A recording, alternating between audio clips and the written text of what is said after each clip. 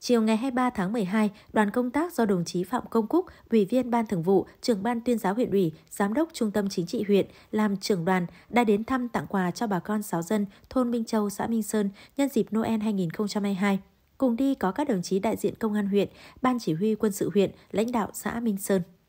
Tại nơi đến thăm tặng quà chúc mừng bà con giáo dân, đồng chí trưởng ban tuyên giáo huyện ủy Phạm Công Cúc đã gửi lời chúc mừng Giáng sinh đến toàn thể bà con giáo dân nơi đây, có một mùa Giáng sinh an lành, hạnh phúc, đồng thời mong muốn bà con giáo dân sẽ tiếp tục đoàn kết, phát huy truyền thống kính Chúa yêu nước, sống tốt đời đẹp đạo, chấp hành tốt chủ trương chính sách của Đảng, pháp luật của nhà nước, tích cực hưởng ứng tham gia các phong trào thi đua của địa phương hăng say lao động sản xuất để phát triển kinh tế, giữ gìn an ninh trật tự và an toàn xã hội, nhất là cuộc vận động toàn dân đoàn kết xây dựng nông thôn mới, đô thị văn minh, góp phần xây dựng khối đại đoàn kết toàn dân tộc trong huyện ngày càng được củng cố và phát triển.